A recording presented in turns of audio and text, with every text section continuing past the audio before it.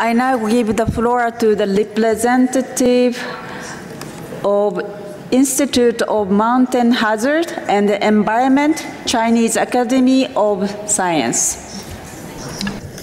Excellencies, uh, distinguished delegates, ladies and gentlemen, on behalf of the Institute, uh, Institute of Mountain Hazards and Environment of Chinese Academy of Sciences, it is my great pleasure to share our latest achievements on disaster risk reduction, especially the International Conference on Silk Road Disaster Risk Reduction and Sustainable Development, which just finished in Beijing on 12th of May, which is very successful and rewarding regional contribution.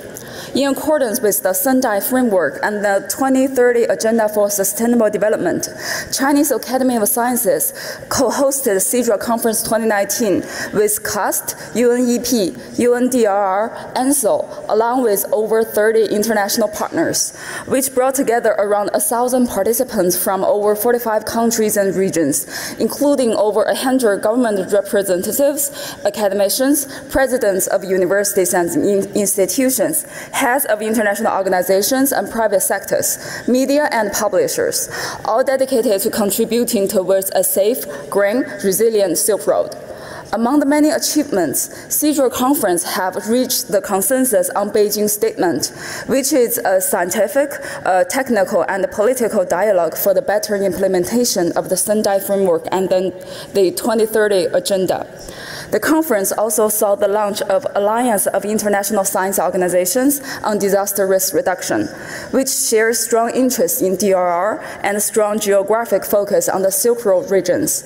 This alliance shares the vision of the UN landmark uh, framework agreements, including Sendai Framework, 2030 Agenda, and the Paris Agreement on climate change, aiming to form a regional collaboration platform for the endeavor. The alliance emphasis on enhancing disaster mitigation and response through multinational and multidisciplinary collaboration, such as disaster with healthcare science, encouraging partnership with the engineering community, enhancing cooperation between natural and social sciences, focusing on higher education, contributing to disaster proofing and resilient infrastructure, connecting with existing networks as well as private sectors.